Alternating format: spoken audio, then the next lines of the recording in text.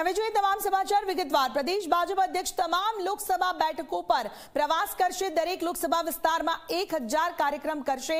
CR Patil ઉમેદવારોને સાથે રાખી CR Patil કરશે જાહેર કાર્યક્રમ. વિધાનસભા ચૂંટણી સમયે પણ પાટીલે કર્યો હતો કાર્યક્રમ. વન ડે વન ડિસ્ટ્રિક્ટ કાર્યક્રમ હેઠળ પહેલા પણ કર્યો હતો પ્રવાસ.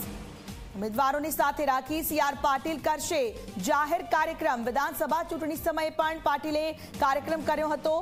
એકસો સીટ સાથે જીત હાંસલ કરનાર સીઆર પાટીલનો ગુજરાતની આ રણનીતિ તમામે તમામ સીટો કબજે કરવા માટેનો આખો તૈયાર થઈ ચૂક્યો છે. જ્યાં હિતેન અમારી સાથે જોડાયા છે. વધુ અપડેટ તેમની પાસેથી મેળવીશું હિતેન.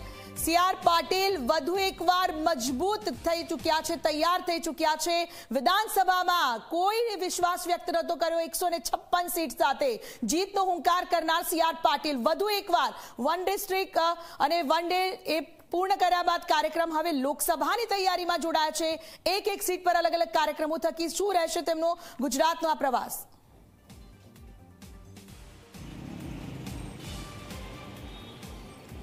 બિલકુલ વાત કરીએ તો આવનારા દિવસોમાં એપ્રિલના મધ્યમાં સીઆર પાટીલનો આ પ્રવાસ જે છે તે શરૂ થશે અને સમગ્ર ગુજરાતમાં તે ફરશે. એક દિવસ એક જિલ્લામાં રહીને એક એક બેઠક ઉપર તે પ્રચાર કરવાના છે. ઘરે ઘરે જશે ડોર ટુ ડોર કેમ્પેન કરશે.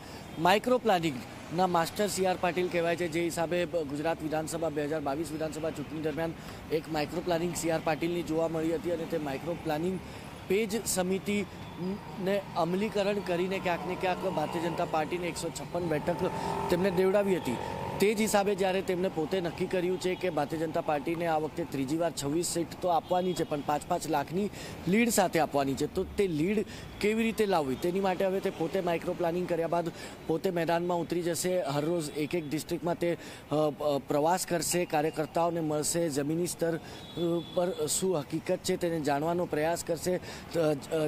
હરેક જિલ્લા માટે અલગ અલગ રણનીતિઓ બનાવશે અને તેના સિવાય વાત કરીએ તો છવ્વીસે છવ્વીસ બેઠક પર છવ્વીસે, છવ્વીસ ઉમેદવાર સાથે એક એક દિવસ તે કાર્યક્રમ કરશે. આમ કુલ છવ્વીસ દિવસનો તેમનો જે છે તે આ પ્રવાસ રહેશે અને ત્યારબાદ નિશ્ચિત તौर પર આ પ્રવાસ બાદ એક બેઠક જે છે તે ફરી એકવાર સી આર પાટીલની અધ્યક્ષતામાં યોજવામાં આવશે અને જમીની સ્તર પર તેમને રિપોર્ટ આખો મળી જશે. ત્યારબાદ તે એક નવી માઇક્રો પ્લાનિંગ કરશે અને તેને અમલીકરણ કરવા માટે કાર્યકર્તાઓને, નેતાઓને અને જેટલા પણ ઉમેદવારો છે તેમને આદેશ આપી દેવામાં આવશે. હાલાકી એક આ તેમને પ્રયાસ જે છે તે વિધાનસભામાં કર્યો હતો, તે સફળ થયો હતો અને એકસો છપ્પન બેઠક ભારતીય જનતા પાર્ટીને મળી હતી. તે જ હિસાબે તે ફરી એકવાર પ્રયાસ કરવા જઈ રહ્યા છે. પાંચ લાખની લીડ પોતે નક્કી કરી છે. તો આ પ્રયાસ હવે પાંચ લાખની લીડ મેળવવામાં સફળ થાય છે કે નથી થતો? કારણ કે ભારતીય જનતા પાર્ટીની અંદર અત્યારે કકળાટ બી એટલો જ ચરમસીમા પર જોવા મળી રહ્યો છે. વડોદરા હોય, સાબરકાંઠા હોય, ઉમેદવાર બદલાયા બાદ પણ વિવાદ જે છે તે થમવાનું નામ નથી રહ્યું નામ નથી થઈ રહ્યું. અનેક જિલ્લાઓ જે છે ત્યાં વિવાદો જે છે તે એક બાદ એક આંતરિક વિવાદ ઊભા થઈ ચૂક્યા છે. પોરબંદર હોય કે રાજકોટ હોય રાજકોટમાં રૂપાલાના સ્ટેટમેન્ટના કારણે વિવાદ વકર્યો છે. પોરબંદરમાં મનસુખ માંડવિયા આયાતી ઉમેદવાર હોવાની વાતો જે છે તે સામે આવી રહી છે. એટલે ક્યાંક ને ક્યાંક આવા મુદ્દાઓ વચ્ચે હવે સી આર પાટીલે જ્યારે પોતાના હાથમાં કમાન લીધી છે, તો તે શું જાદુ કરે છે તે તો નિશ્ચિત તौर પર ચાર જૂનના રોજ જ્યારે પરિણામ આવશે તે દરમિયાન જ સાફ થશે. પણ નિશ્ચિત તौर પર પાર્ટીને જીતાડવાની અને તે પણ મોટા લીડથી જીતાડવાની જિમ્મેવારી હવે સી આર પાટીલે પોતાના હાથમાં લઈ લીધી છે. બિલકુલ.